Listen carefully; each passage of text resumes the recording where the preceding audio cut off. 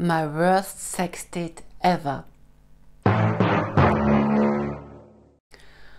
Oh, ich habe mir jetzt gedacht, ich muss euch von meinem schlechtesten Sexdate ever erzählen.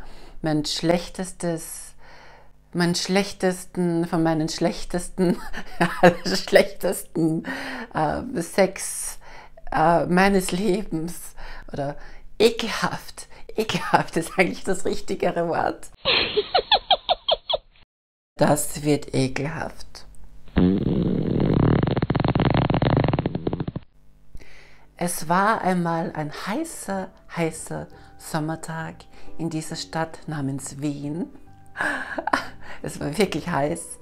Vor vielen, vielen Jahren natürlich. Ist natürlich nicht erst vor kurzem passiert. Ähm, und da kam, äh, da war eine Johanna E., die geil war und, und sie sich gedacht hat, okay, dann macht sie sich mal wieder ein Profil auf, auf einer Plattform für schwule Männer, wo auch transsexuelle Frauen sind. Und dann habe ich das gemacht und habe mir dann einen Typen eingeladen. Ich nenne ihn jetzt der Serbe. Ich nenne die Männer ja immer nach der Nationalität und Herkunft. Und der Serbe ist gekommen. Es war sicher schon nach Mitternacht. Erst, er hat angeläutet, dann ist er raufgekommen. Und wie, wie er dann so gekommen ist, habe ich gedacht, er schaut nett aus, aber er wirkt ein bisschen schwul, habe ich gedacht. Ich voller Klischees, voller heteronormativen Klischees oder beinahe heterosexistisch. Und dann ist er gekommen, also ähm, in die Wohnung. Ich habe mir gedacht, oh, er schwitzt. Aber ich, dann habe ich gedacht, hm, er hat irgendwie nett gewirkt und dann habe ich gedacht, naja, ist egal. Äh, ist ja egal, ich bin geil. Und dann ist er, ähm, dann haben wir, dann hat er mich gleich irgendwie geküsst, aber das wollte ich nicht. Und ich habe dann in seine Hose gegriffen, auf seinen, äh, ihr wisst schon was. Äh, das war feucht, aber jetzt nicht nur von Schweiß, sondern eine andere Feuchte. ja, okay, er war halt vielleicht geil. Ah, was mir auch aufgefallen ist, ich habe mir gedacht, er hat sich irgendwas genommen oder so. Er war irgendwie so komisch, so als ob er irgendwie abwesend wäre. Also und ich bin die Letzte, die sowas macht, so Chemsex. Ich mag sowas gar nicht. Äh, ich habe sowas nie gemacht, aber wirklich nie. Äh, und jedenfalls, da habe ich gedacht, ist ja wurscht. Ähm, er hat ganz nett ausgeschaut. Jedenfalls dann meine Hand in der Hose, ich gebe sie raus. Was kommt mir da für ein Duft entgegen? Es war so ekelig. Ich habe mir gedacht, wie lange hatte sie nicht gewaschen, dass er so riecht oder stinkt. Oh, das sind Männer oft so. Oh, ich, ich, erinnere mich gerade an ein anderes Worst Sex Date Ever, wo er, wo er wollte sich in einen einen, wie sagt man dann, äh, französisch befriedige und er hat dann seine Beine gespreizt und nicht nur, dass irgendwelche Düfte vor seinen Eiern raufgekommen sind, vor den Schweiß rund um die Eier, sondern auch seine Bobacken haben sich dann auch geöffnet und dann ist halt, es war schlimm. Jedenfalls roch er, stank er extrem.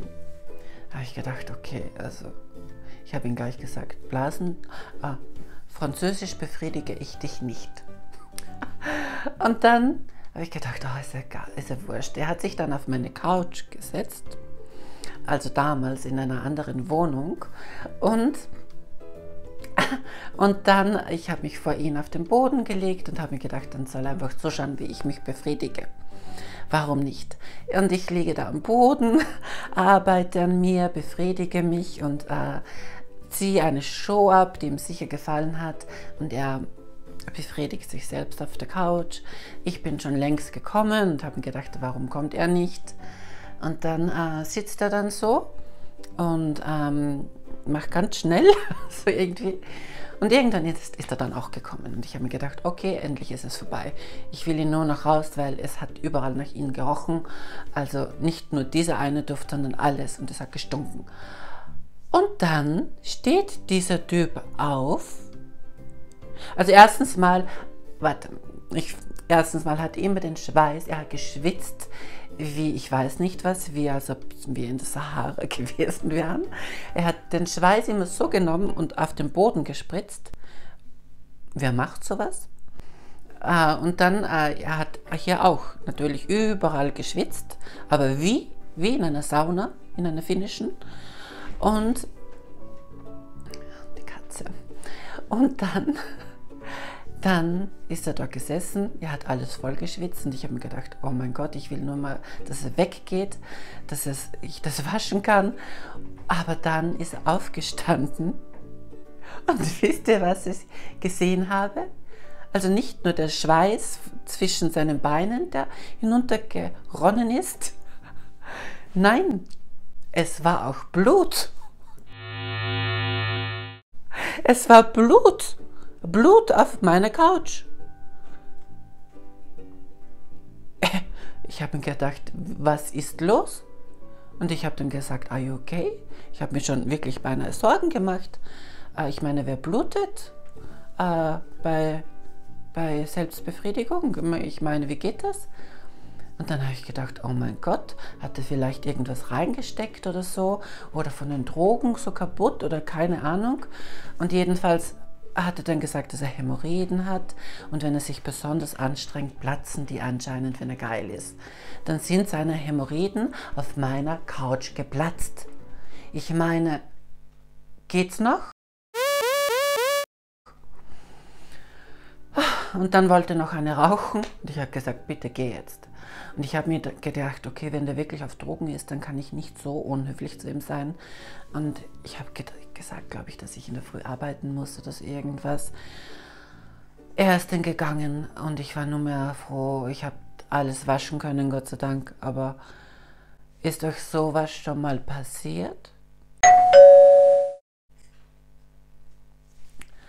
Also nicht nur, dass es vorne und hinten steht. Oh, egal. Ich höre hier am besten auf. Berichtet mir vielleicht von, in den Kommentaren, wenn euch traut, von euren Worst Sex Dates und abonniert mich, äh, schaut weitere Videos und ich wünsche euch, ja, was auch immer, Best Sex Dates oder überhaupt keine Sex. Ich wünsche euch Liebe. Tschüss.